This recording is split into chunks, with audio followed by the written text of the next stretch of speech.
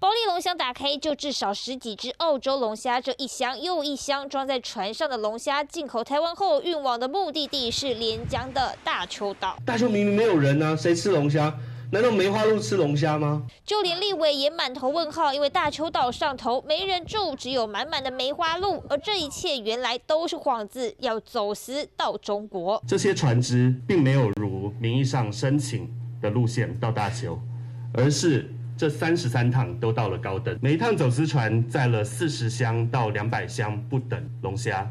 根据航机图，载满龙虾的渔船申报航线目的地明明是大邱岛，实际上却是前往后方的高登岛附近海域，在雷达盲区和中国船只靠并走私，一来一往下，去年九月二十二到十一月十二，近三个月就走私三十三趟，重量破六万公斤，在中国平均市价更高达新台币两亿元的龙虾，但海。巡署早在十月察觉有异行文，给连江县港务处不再同意给予申报进出港到大邱、高登等岛屿，却遭县府已读不回。当县政府已经获得海巡的警告跟警示，却没有任何的动作，这不就坐实了县政府变相的对海巡施压，来达到袒护走私的目的？请问门神是谁？谁有这么好的政治关系，可以打通连江县政府？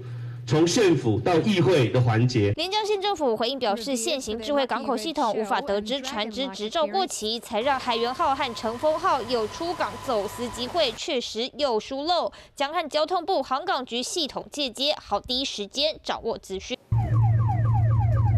海巡高速行驶驱逐中国的走私快艇，这些船只挂着加大马力的舷外机，出现在马祖高登岛海域，这也是走私龙虾船交货的地方。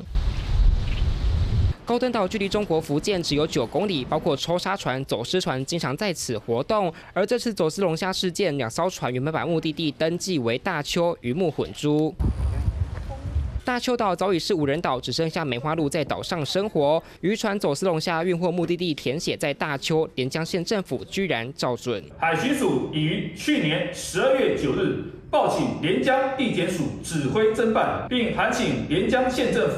针对市内货船运搬活动，订定相关管理办法。其中海源号出港多达二十三次，但它早已在二零二零年十月就被交通部航港局发文通知连江县府，货船没有完成检查，小船执照也在二零二零年到期，在合格前必须禁止出海。但连江县府没有处理，只用正常商业活动来回答。而海巡明知道龙虾运去大邱目的地可疑，也被批没有积极查气。经检查未携带管制物品后，实予出港。从我出生我就知道马祖有船的人，大大小小他们都会听说。我们不要说走私啊，就是小额贸易嘛。要吃饭的话，要 要要生活，他当然会走偏门嘛。一般渔船出海，安检所要检查船员证和出海人数就可出港。但若是货船，得先查验货运单并抽验船上的货物才能放行。据了解，海巡有试图跟监，但当时渔船察觉就停止交易，苦无实证。去年十二月十六号，有把两艘船疑似。走私的状况函送给基隆关务署来进行后续裁处。